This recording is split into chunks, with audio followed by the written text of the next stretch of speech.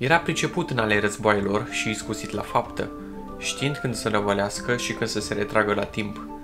Meșter în a întinde curse, vitează în luptă, știind a se folosi cu dibăcie de o victorie și a scăpat cu bine dintr-o înfrângere, printre care lucruri el a fost mult timp un potrivnic de temut. Așa îl descria istoricul roman Casus Dio pe ultimul rege al dacilor, Decebal.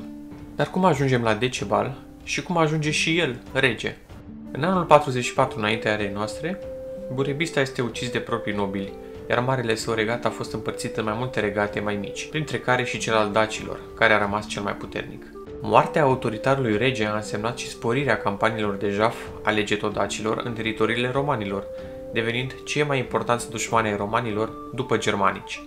Războaiele getodacilor cu romanii vor continua fără întreruperi, devenind o rutină pentru populațiile de pe ambele maluri ale Dunării, obișnuiți să fie jefuiți și omorâți de câteva ori pe an. Într-unul din atacurile dacilor este omorât guvernatorul provinciei Miozia. Asta stârnește un răspuns prompt de la actualul împărat roman, Domitian, care organizează o campanie militară de pedepsire a dacilor. În tot acest timp, regele dacilor era, după unele surse, numit Diurbaneus, după alte surse era numit Duras. Cert este că acest conducător va renunța la titlul de rege și îi predă puterea unui mare războinic, cunoscut sub numele de Decebal. Noul rege încearcă să facă pace cu romanii, dar Domitian refuză, fiind sătul probabil de nenumăratele campanii de jaf ale dacilor.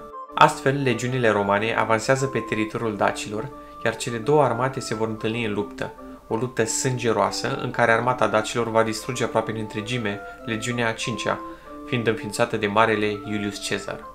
Trupele lui Decebal vor șefui tabăra învinșilor și vor fura o mulțime de echipamente militare, cât și standardele legiunii distruse. Pierderea standardelor reprezenta cea mai mare rușine militară pentru legiunile romane. Această rușine nu putea rămâne nepedepsită, astfel romanii invadează Dacia din nou anul următor și chiar obțin o victorie importantă în drumul spre capitala dacilor. Victoria romanilor nu a putut fi fructificată însă, deoarece legiunile romane vor trebui să părăsească teritoriul dac imediat pentru a năbuși niște revolte în Panonia și în Germania. Împăratul Domitian decide să facă pace cu dacii, întrucât avea prea multe războaie în același timp și le oferă dacilor o pace extrem de avantajoasă. Dacia va deveni un regat clientelar Romei, un fel de stat vasal. Asta presupunea că Decebal va apăra granița romanilor de la Dunăre împotriva oricăror alte invazii, iar dacii nu vor mai jefui Miozia niciodată. Totodată, dacii vor primi și un tribut anual de la romani, meșteri militari și echipament militar.